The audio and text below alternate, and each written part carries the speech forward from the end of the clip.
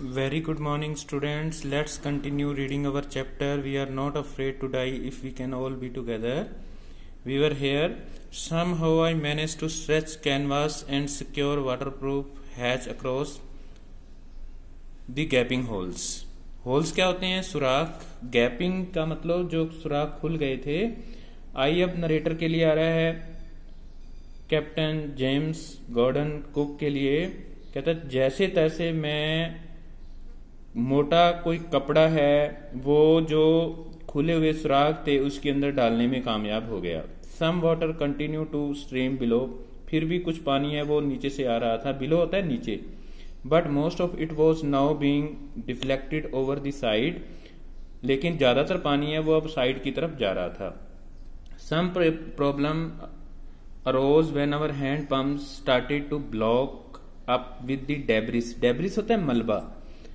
Floating around the cabin कहते हैं, हमारी जो प्रॉब्लम है वो शुरू और कहा से हो गई कि जो हमारे हैंड पंप थे, हाथ से पानी निकालने के लिए जो पंप थे हमारे पास, वो ब्लॉक हो गए, वो जाम होने शुरू हो गए, क्योंकि अंदर है वो मलबा तैर रहा था, ठीक है? फ्लोटिंग का मतलब होता है तैरना डेब्रिस मलबा होता है राउंड दी कैबिन कैबिन के पास मलबा तैर रहा था and the electric pump short circuited और जो इलेक्ट्रिक पंप थे, बिजली से चलने वाले पंप थे, वो शॉर्ट सर्किट हो गए थे, वो गीले हो गए थे। Some water level rise threateningly पानी है वो, अंदर है वो बहुत ज़्यादा खतरनाक तरीके से ऊपर उठने लग गया, ठीक है, वो जमा होने लग गया।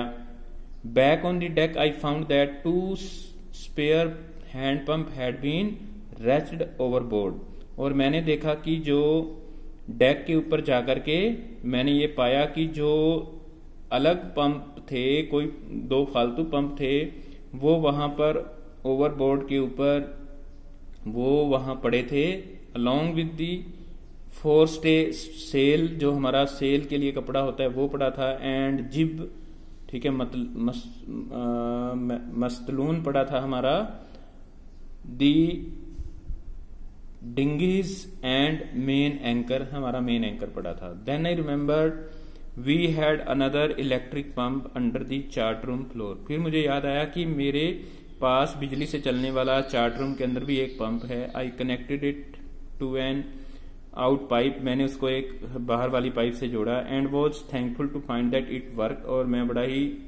धन्यवाद भगवान का कर रहा था कि ये काम करना, ये चल पड़ता है।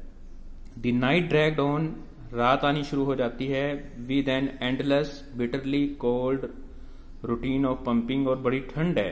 बिटरली कोल्ड मतलब जमा देने वाली ठंड पड़ रही थी और हम पानी से पंप पानी को पंप से निकाल रहे थे। स्टीयरिंग में जहाज़ का हैंडल थामे हुए था एंड वर्किंग द रेडियो और रेडियो पर बाहर दूसरे दुनिया से संपर्क करने की कोशिश कर रहा था।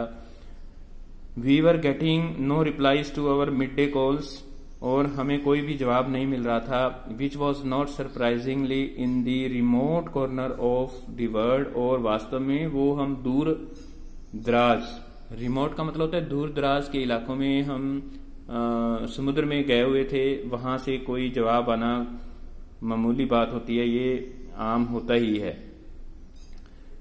Sue had head swollen alarmingly Sue का जो सिर है वो सूज गया था। स्वोलन का मतलब होता है सूजना।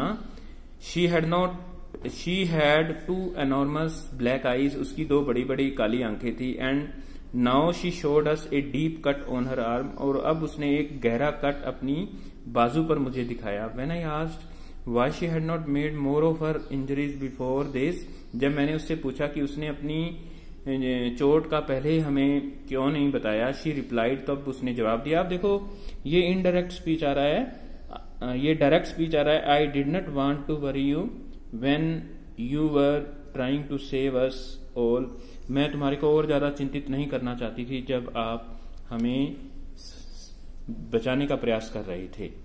By the morning of morning on July third तीन जुलाई की सुबह the pump had the water level sufficiently under control for us to take two hours rest in rotation